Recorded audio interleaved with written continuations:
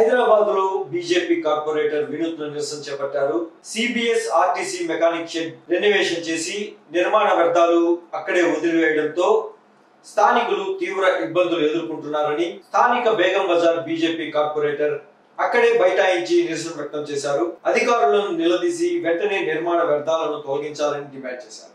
స్థానిక విఠోబా ఆలయ రథోత్సవం ఉందని భక్తులు ఇబ్బందులు ఎదుర్కొంటారని వెంటనే ఆర్టీసీ అధికారులు స్పందించి వాటిని తొలగించాలని ఆయన డిమాండ్ చేశారు.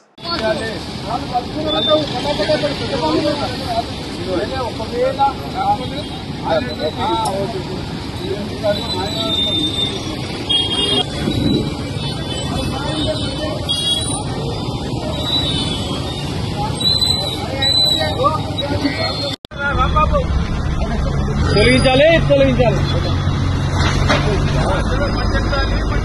అంతే అంతే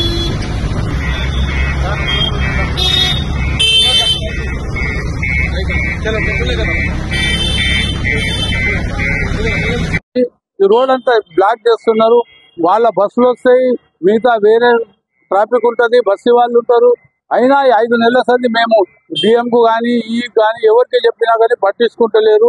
ఇప్పుడు రేపు మాకు విఠోబా మంత్రి రథోత్సవం ఉన్నది గౌలిగూడలో. వేలాది మంది ఇక్కడ టెంపుల్కు వస్తుంటారు. వాళ్ళకు బాగా ఇబ్బంది కలుగుతుంది.